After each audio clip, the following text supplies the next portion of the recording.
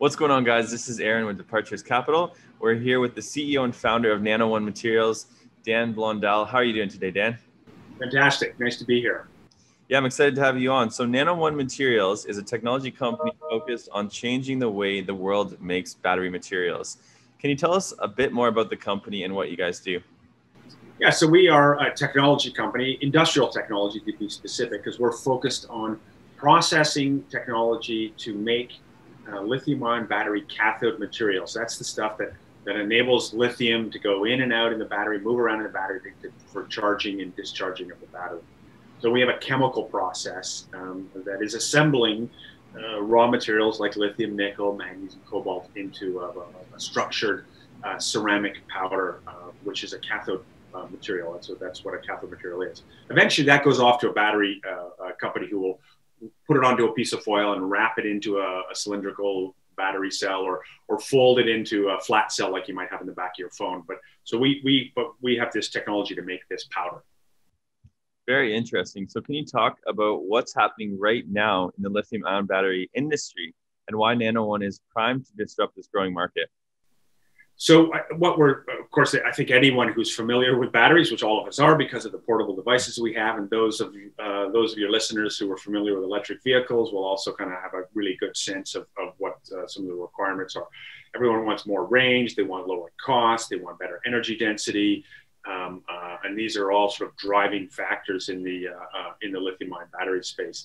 We're seeing uh, we're seeing the uh, adoption of, of, batteries coming into some of the major OEMs. Of course, this has been coming coming on for some time yeah. with, with, Tesla and, and, everyone, but mm-hmm. we're seeing wide scale now uh, adoption of platforms coming in line, and we're also seeing these big automotive manufacturers not only just taking on, you know, integrating a battery into an existing car or, or, or, or an existing framework, but we're also starting to see them really start to focus upstream on the design of the battery cells, on the design of the chemistry uh, to influence uh, energy density, to influence to, to, be able to stuff more batteries between the wheels to get a longer range vehicle. So those are some of the really kind of big macro economic uh, macro trends that we're seeing in the space.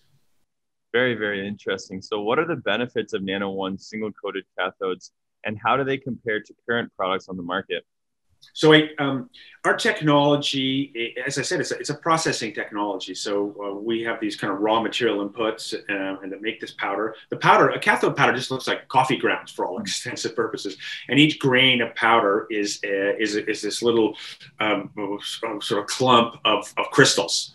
Um, and typically in industry, what they do is uh, I have to kind of explain how it's done first to really kind of understand what the difference is. But we typically in the industry, um, they uh, to make that uh, that powder, they start with um, metals like like nickel, manganese, and cobalt. They convert them. They, they come out of the ground. They're mined out of the ground, and, uh, and that's where miners kind of make their most money. And that, uh, but they have to be refined into a usable metal at that point, a useful metal. Mm-hmm. And that that metal, the nickel, the manganese, and cobalt, it gets converted into uh, a sulfate powder and um, it's very energy intensive process. It's got a big carbon put, footprint. It adds uh, thousands of dollars per per ton to the to the cost of nickel, and it it, uh, it quintuples the weight. Um, uh, so nickel sulfate, it's got a whole bunch of water attached to it. It's got a whole bunch of other materials, uh, this, the, the, sulfur and the oxygen in there, and it just makes it five times heavier, five times more uh, expensive to ship. Um, it's got five times the carbon footprint because of that shipping.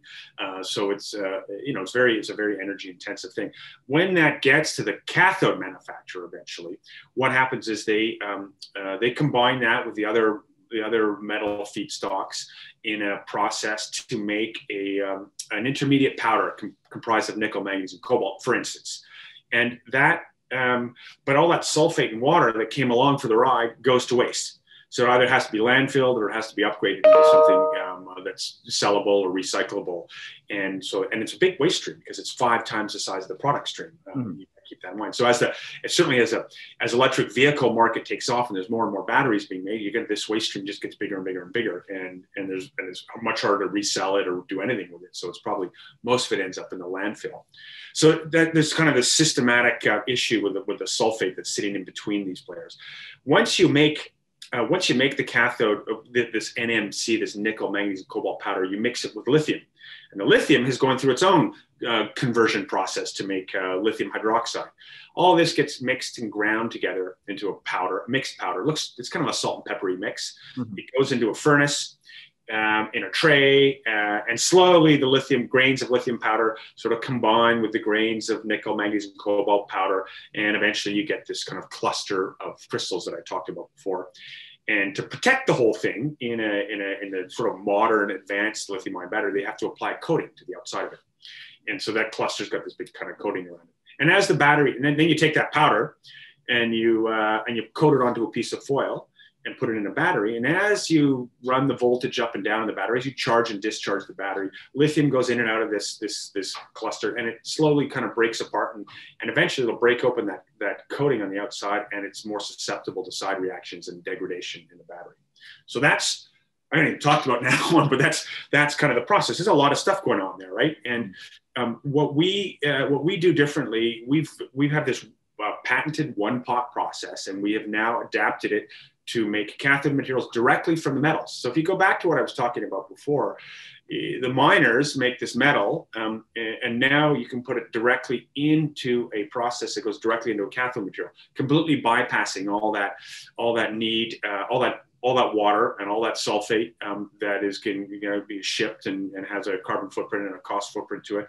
We also avoid the need to upgrade lithium to hydroxide, so you can go from a, a simpler material there.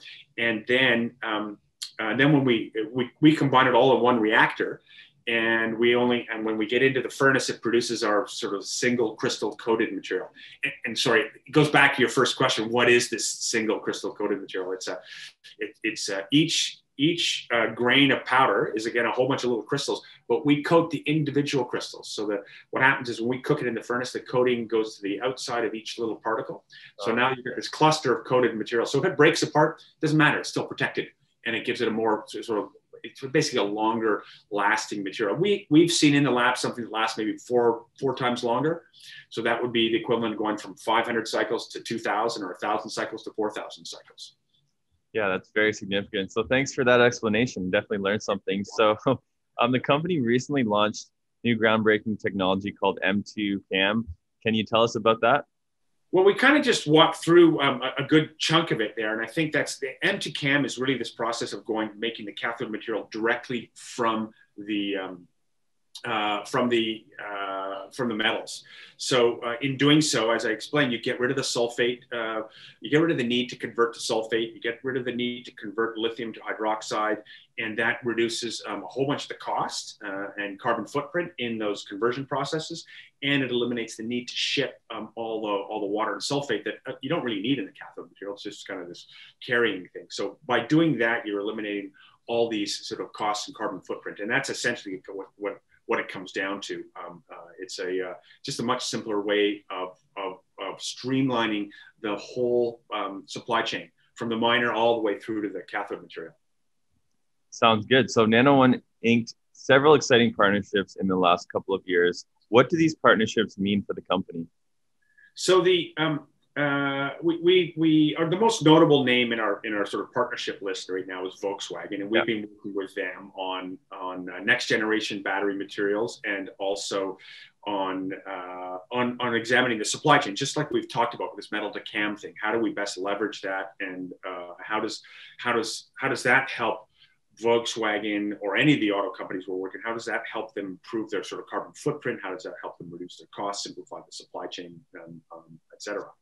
So those are uh, those are kind of the activities that we kind of have uh, uh, undergone with with them, and with uh, we also announced another U.S. automotive company in in December. I can't tell you who they are at this point, but uh, but activities are furiously underway with them. we hope to add a few more in the next few months um, uh, as well. Um, but really at the end of the day these these companies aren't going to be chemical producers. They're not going to be producing the powders. They, they're, they're, they want to get in and support the activity because it's an improvement overall to the supply chain. Um, the uh, the fulfillment of that uh, demand we're trying to create with the, with the OEMs is really uh, upstream with the chemical producers, the, the, the, guys who make cathode materials today, or the guys who want to make cathode materials, big chemical companies. And there we are developing our process um, uh, really at a manufacturing level, but also um, uh, looking at new formulations of, let's say, nickel, manganese, and cobalt, and different coatings and different additives to make uh, to, to bring uh, different properties to the materials. Maybe to make them charge faster, maybe to make them last longer, maybe to make them cost less.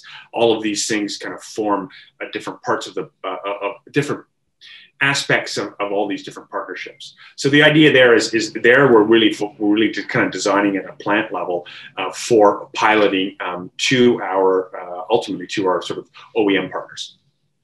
Interesting. So Nano One's ongoing success can be attributed to seasoned leadership. Can you tell us about your key members and what they bring to the table? Yeah, so um, uh, I come from a, uh, you, your, your listeners probably already know this, I come from a technical background, of course.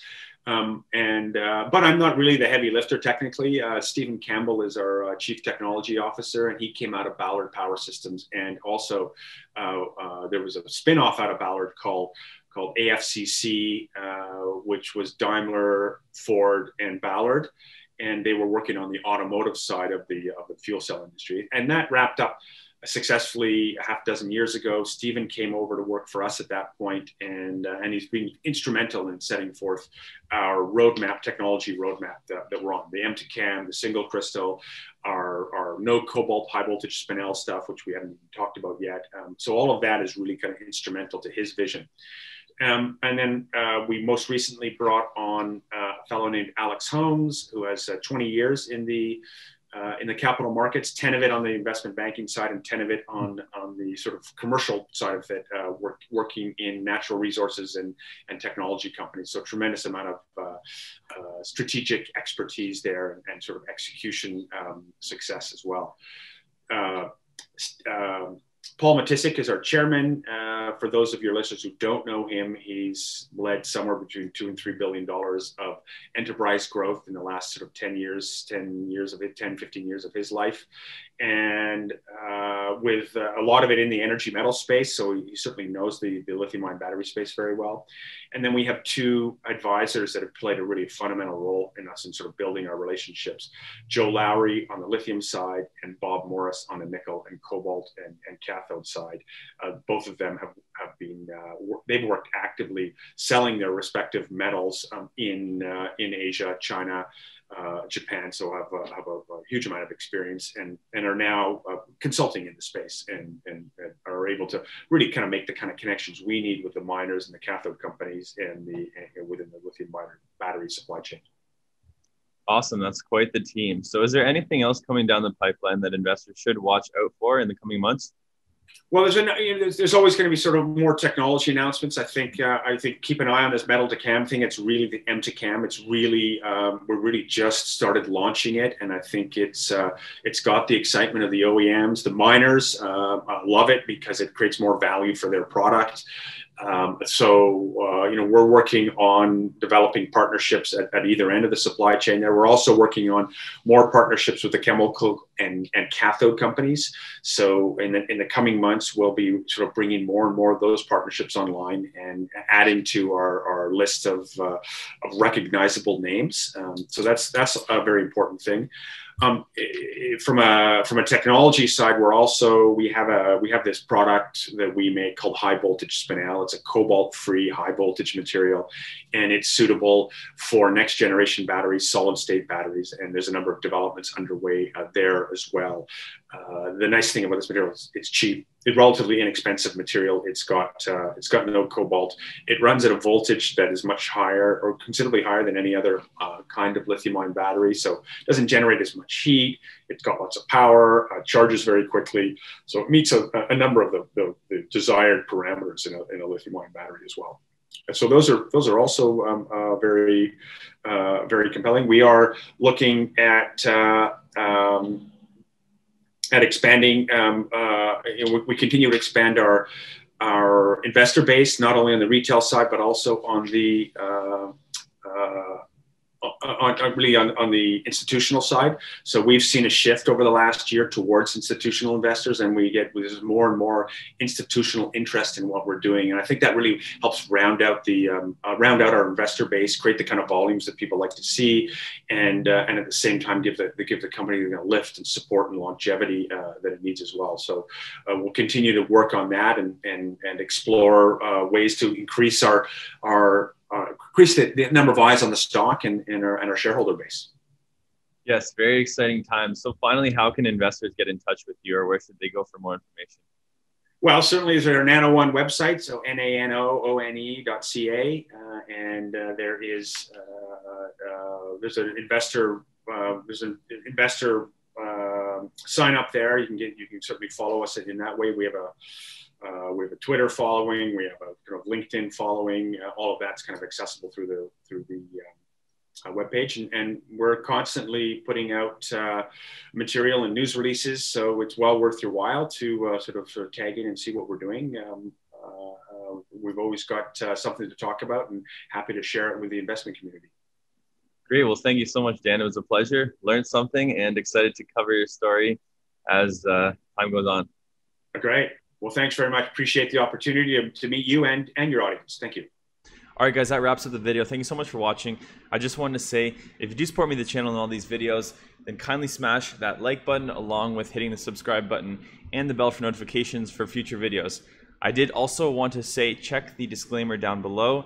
This video was sponsored by the company that we are talking about today. So check the disclaimer, full disclosure, and um, we're out of here. Always remember, guys, Departures Capital is for information, education, and entertainment purposes only. Don't buy or sell a stock because you heard it on here. Buy or sell a stock because you've done your research, you've done your thorough due diligence, and you make your own personal investment decisions for yourself. This video is not financial advice. We'll see you guys in our next video.